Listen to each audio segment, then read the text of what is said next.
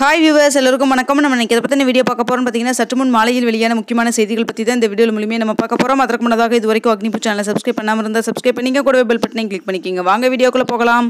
தமிழகத்தில் ஒன்பது பேரூராட்சிகளை நகராட்சிகளாக மாற்றி தமிழ்நாடு அரசு அரசாணை வெளியிட்டுள்ளது.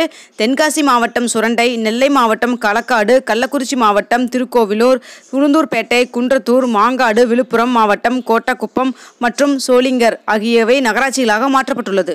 உணவுப் பொருட்களுக்கு ஜிஎஸ்டி வரியில் இருந்து விலக்கு அளிக்க வேண்டும் என்று விக்ரமராஜர் அவர்கள் வலியுறுத்தியுள்ளார்.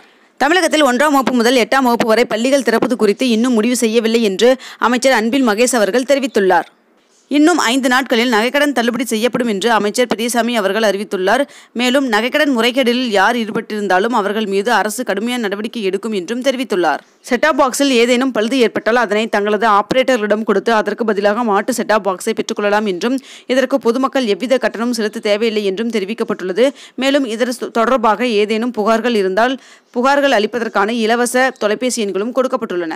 வரும் ஞாயிற்றுக்கிழமை பதினைந்து லட்சம் பேருக்கு கொரோனா தடுப்பூசி போட இலக்கு நிர்ணயிக்கப்பட்டுள்ளதாகவும் தற்போது கையிருப்பில் ஐந்து லட்சம் தடுப்பூசிகள் உள்ள நிலையில் மேலும் பதினான்கு லட்சம் தடுப்பூசிகள் வரும் என்று எதிர்பார்க்கப்படுகிறது என்றும் அமைச்சர் தெரிவித்துள்ளார்.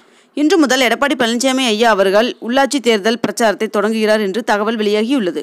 திருச்செந்தூர் சுப்பிரமணியம் சுவாமி கோயில்களில் இன்று முதல் அதிகாலை ஐந்து மணி முதல் இரவு எட்டு மணி வரை பக்தர்கள் தரிசனம் செய்யலாம் என்று அனுமதி அளிக்கப்பட்டுள்ளது. ஒரு லட்சம் விவசாயிகளுக்கு இலவச மின் இணைப்பு வழங்கும் திட்டத்தை முதலமைச்சர் மு ஸ்டாலின் அவர்கள் இன்று தொடங்கி வைத்துள்ளார்.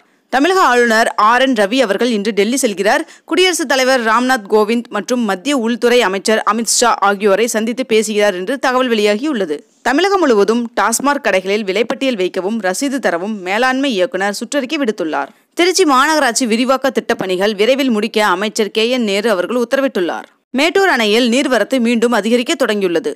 திருப்பதி ஏழுமலையான் கோவிலுக்கு வரும் பக்தர்கள் கட்டாயம் இரண்டு டோஸ் கொரோனா தடுப்பூசி போட்டு கொண்டதற்கான சான்றிதழ் அல்லது கொரோனா நோய் தொற்று இல்லை என்று கொரோனா நெகட்டிவ் சான்றிதழ் கொண்டு வர வேண்டும் என்று திருப்பதி தேவஸ்தானம் அறிவித்துள்ளது.